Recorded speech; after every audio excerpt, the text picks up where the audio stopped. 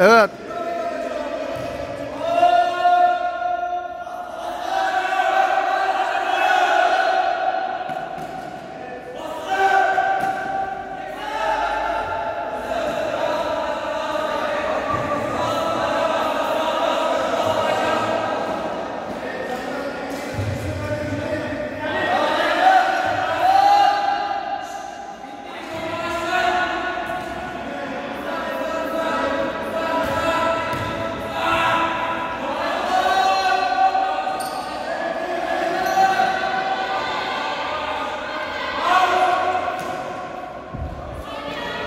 Evet.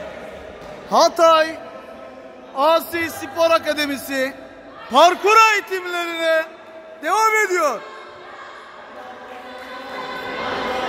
Evet, sporcularımız şu an sırasını bekliyor. Beyza Hanım.